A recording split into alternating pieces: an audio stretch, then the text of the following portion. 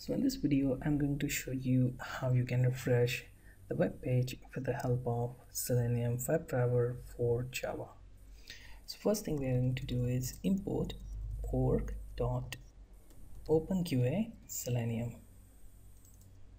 And then we are also going to import org openqa selenium firefox. Simply create WebDriver driver instance and open new Firefox driver. Also call for get method and we are going to go to wikipedia.org after that in order to take some delay for our web page refresh I'm going to use thread.sleep method so to use that method I'm going to make use of try and catch block.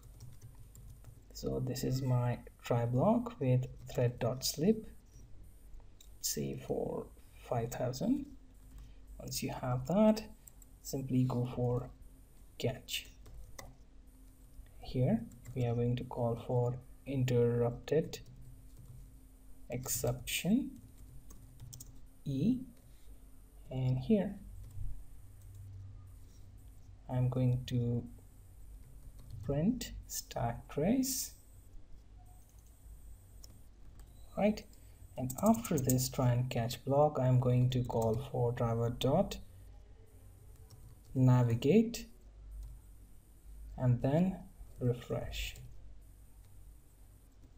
Simply select this method and save your program.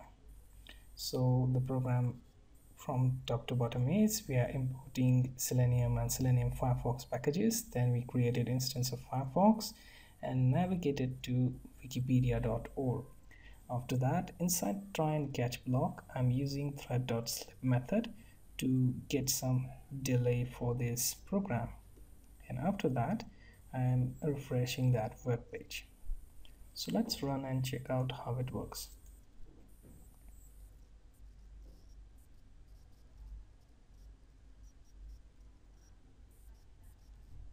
so it is opening our wikipedia web page. And it will take some pause. And then we'll refresh again. So pay attention to the top corner here. It is refreshing the web page. So you know our program code works.